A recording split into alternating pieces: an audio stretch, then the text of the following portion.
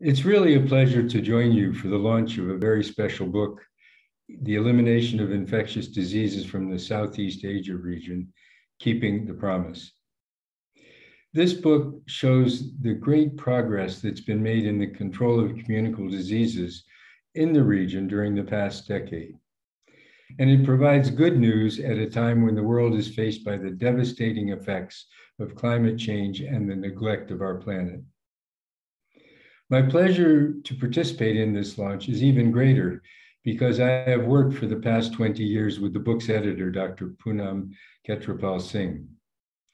Countries of the WHO Southeast Asia region have for decades been fighting communicable diseases.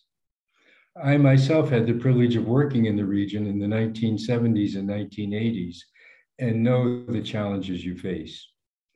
But as this book shows, those challenges have not stopped the fight against communicable diseases, nor have they stopped the strengthening of primary health care and the expansion of universal health coverage. As we all know, infectious diseases affect the poor and the disadvantages.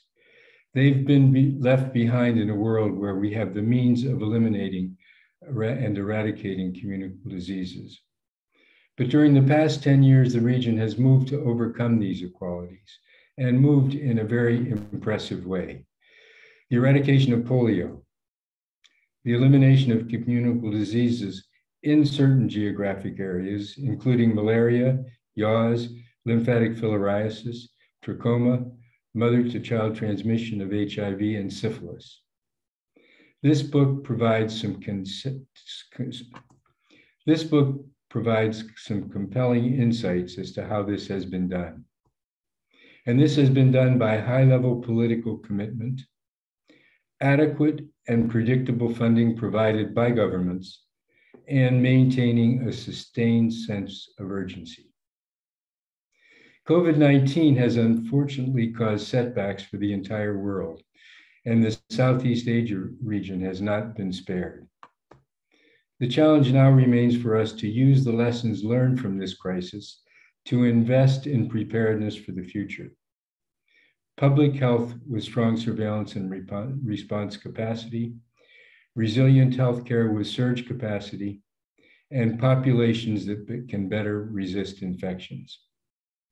It's my firm belief that as technical advances continue to become available, and with strong political will and leadership, countries in the Southeast Asia region will continue to make and sustain progress to eliminate and eradicate infectious diseases.